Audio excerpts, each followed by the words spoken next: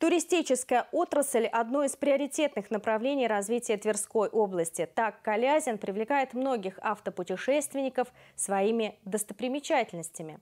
И, конечно, местным властям важно, чтобы состояние дорог, по которым ездят гости, находились в хорошем состоянии. Сейчас в городе идет полная реконструкция на нескольких исторических улицах. О том, какие работы уже выполнены и что предстоит сделать еще в нашем сюжете далее.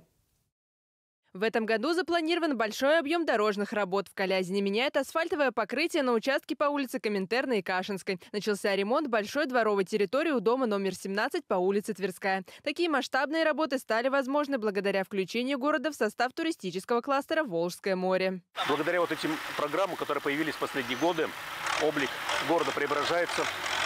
И благодаря решению губернатора Игоря Михайловича у нас Э, сформирована программа, согласно которому все наши асфальтовые улицы э, до 2023 года будут приведены в порядок.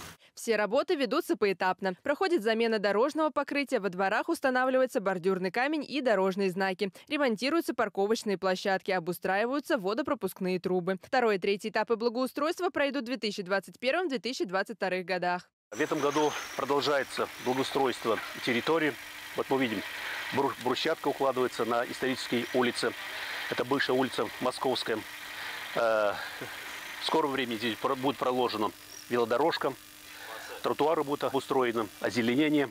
В целом же в Калязине планы по ремонту дорог расписаны на ближайшие четыре года. Напомним, что муниципалитеты на выполнение дорожных работ получили конкретные суммы, распределенные по годам. Областная казна оплачивает 80% стоимости работ, район – 20%. Также в рамках финансирования в городе планируется благоустройство центрального сквера и строительство скейт-площадки в городском парке.